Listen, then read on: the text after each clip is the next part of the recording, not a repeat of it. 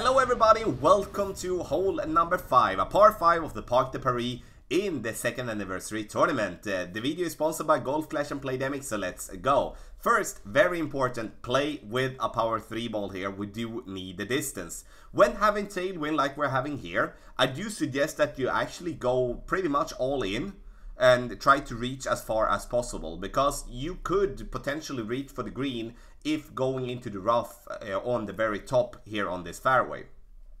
Have in mind when you play in this hole, you do need to adjust and make an over adjustment of 25%. I know for me this has been 20% before, but then you do need to add 25% to be correct with your landing position. So I'm going straight forward there, landing very, very nicely on the fairway and have no problem to reach for the green in two. The problem that we can have if, of course, if we go short in the rough in any form. So that's why with Tailwind I use a power 3 ball to go full blast over power and of course rely on that I'm at least going to hit my ball great. So I'm getting enough distance, if so going into the rough, so I can uh, go directly to the pin with my rough iron.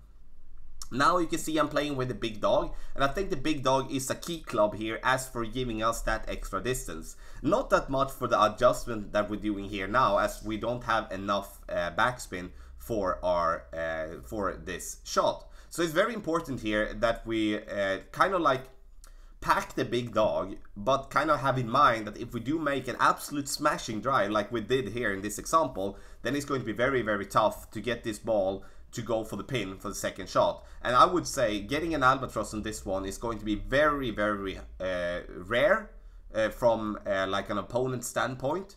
And we just want to get this ball to the green and have an easy putt for the eagle. So, thank you so much for watching hole number 5, a par 3, uh, sorry, par 5 of the Parc de Paris in the second anniversary tournament. The video is sponsored by Golf Clash and Playdemic, so good luck in the second anniversary tournament.